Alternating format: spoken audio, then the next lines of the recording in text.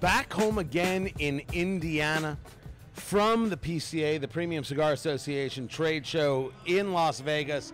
Uh, the question usually when we do one of these wrap ups is what was the takeaway? So I'll, I'll start with you, Fingers Malloy. Your takeaway from the Premium Cigar Association trade show?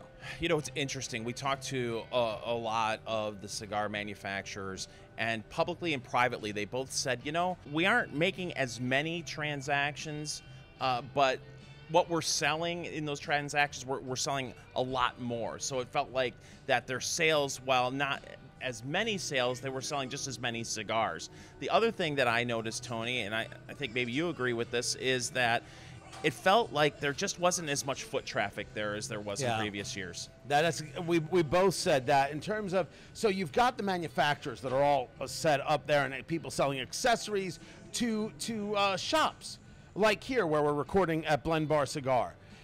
So the retailers, the people actually doing the buying, there seemed to be less of them. That was our, our anecdotal take that there was just less foot traffic less of the actual shops that were there. And that could be for a myriad of, reasons. Maybe it was just the cost of the hotels, the cost of flights, things like that. Like, you know, we'll place our order. We'll miss out maybe on some PCA exclusives because they have cigars there that you can get for your shop only if you're at uh, the, the show.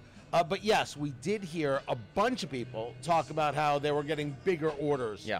for their lounges. Yeah, the other thing that seemed to be a theme talking to people was, you know, there was a big announcement from the PCA that next year it will still be in Las Vegas, but in 2025, apparently they're going to make a move and head back to New Orleans. It's been a little while yeah. since they've been there. So there's been there was some talk about what that show will be like compared to Las Vegas. The other takeaway I got from the trade show, from the PCA, was that we all have to get ready for a price increase big conversation about how the cigars that we've all been smoking, remember, cigars have had a huge explosion over the past few years because of COVID.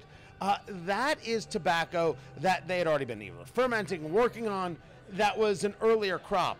Well, there are new crops coming out, and because of a whole series of things, generalized labor costs, fertilizer issues that have to do with what's going on in Ukraine with the invasion from Russia, we are going to see price increases in 2024 and 2025 on cigars, that seems almost a fait accompli. We talked for the last couple of years about supply chain issues, and that was causing a, price increase. And then, of course, with this inflationary cycle that we're we're currently in, we are seeing more price increases. But at least it felt like some of the supply chain issues were kind of being corrected. But then we've got this whole new slew of issues between a shortage of cigar rollers, yeah, uh, and and then talking about the the fertilizer shortages. That's going to creep in. So it's just a whole new set of problems that we're going to have to worry about. They all said that they don't see things going back to 2019 levels, and they're measuring against 2019 because you can't measure against COVID. It was just too much of an explosion, and they all feel, even though things have settled a bit, it's above 2019, and everyone was very happy about that. That this new crop of cigar smokers, people smoking more often means a good a good future. We'll see how that happens and how that plays going into 24 and 25. I think the other thing to take away from it is we're getting more celebrities into uh, the cigar industry. Of course, Guy Fieri had tremendous success with the Knuckle Sandwich and Espinosa cigars. And then we have an interview. You interviewed Chad Ochocinco Johnson, and he's gotten into the cigar market. Yeah, 85 cigars, 80 number five cigar.com is his brand, of course, formerly of the Cincinnati Bengals.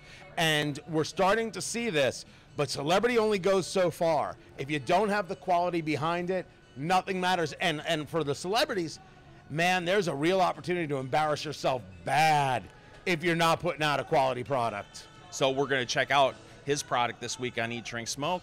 And uh, all in all, very successful trip. We got a lot of great content that you're going to be able to see over at eatdrinksmokeshow.com. So don't forget to head on over to the lounge, eatdrinksmokeshow.com.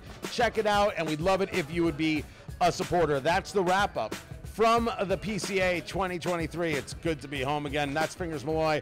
I'm Tony Katz. Eat, Drink, Smoke, eatdrinksmokeshow.com.